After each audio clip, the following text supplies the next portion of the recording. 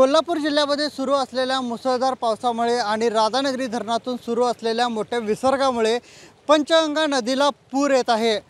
सध्या पंचगंगा इशारा पातळीवर वाहत आहे. मात्र आता आपण सध्या अशा ठिकाणी आहोत जिथे पंचगंगेचा उगम होतो. म्हणजेच प्रयाग चिखली येथे सध्या आपण आलेलो आहोत आणि पाहू शकताय की मोठ्या प्रमाणात येथे पाण्याचा विसर्ग जो आहे तो सुरू आहे. मोठा प्रवाह या पाण्याला आहे आणि यामुळे प्रयाग चिखलीवरून जाणाऱ्या या रस्त्याला सध्या मोठ्या प्रमाणात पाणी आलं आहे. यामुळे एकंदरीतच यामध्ये आणखी जर वाढ झाली तर तब्बल पुढील तीस ते चाळीस गावांचा संपर्क तुटणार असल्याची भीती सध्या येथे निर्माण होत आहे. समोरचं जे मंदिर आहे ते दत्ताचं मंदिर आहे. या प्रयाग चिखलीवर येथे या दत्ताच्या मंदिराला मोठं मान आहे. तिथं हजारो भाविक जे आहेत ते दरवर्षी दर्शनासाठी येत असतात.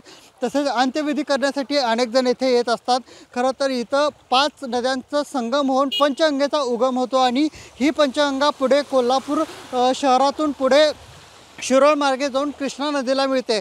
एकंदरीतच या टप्प्यामध्ये मोठ्या प्रमाणात पाच नद्या येत असल्यामुळे संगम जो आहे तो येथे होतो आणि या पंचगंगेला आता सध्या मोठ्या प्रमाणात पाणी येत असलेलं पाहायला मिळत आहे. आजूबाजूच्या शेतीमध्ये हे सर्व पाणी शिरलेलं आहे आणि या सर्व पार्श्वभूमीवर पा पाहायला गेलं तर आणखी जर या पाण्यामध्ये जर वाढ झाली तर हा रस्ता देखील आता बंद होण्याच्या मार्गावर सध्या आला असून दोन्ही बाजूला आता पोलीस तैनात करण्यात आलेले आहेत.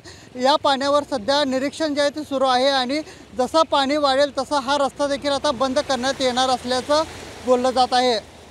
नयनाद वाड महाराष्ट्र टाइम्स ऑनलाईन कोल्हापूर.